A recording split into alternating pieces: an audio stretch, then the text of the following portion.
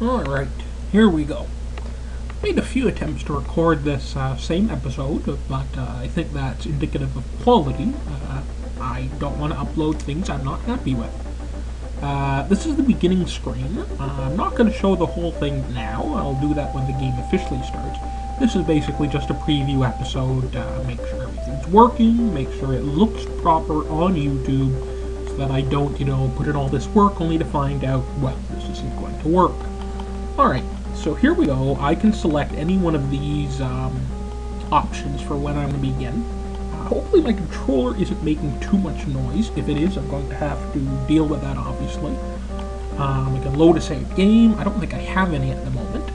Uh, this option here lets me begin as Emperor. Uh, this one lets me begin as First Consul. Basically, both of these put me in charge of the country just a little different in terms of how many cities I control, the foreign affairs of France. We are France, obviously, we're Napoleon. This one puts me in charge of the army, uh, which is a little different. I do not begin in charge of the country.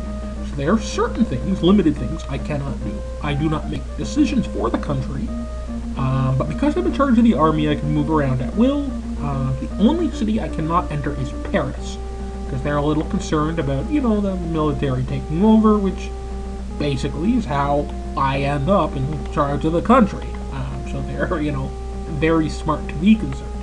But the first option here simply puts me as a commander or a city governor, and I love that. I think that is the single best thing that you can actually do uh, in a game, is to begin where you do not have access to all of the commands. That, I think, is awesome. Cannot express how good uh, I think that is that's one of the reasons why I love this game.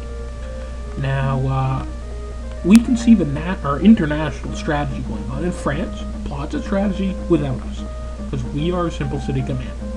Now, I'm not going to do much here in this uh, preview. Uh, I'm simply making sure everything works, making sure it's as it should be, making sure I can hear myself uh, on the recording without the 8-bit soundtrack drowning myself out apologize in advance for the fact this is an 8-bit game. It, you know, it's just not going to be PlayStation quality. I apologize.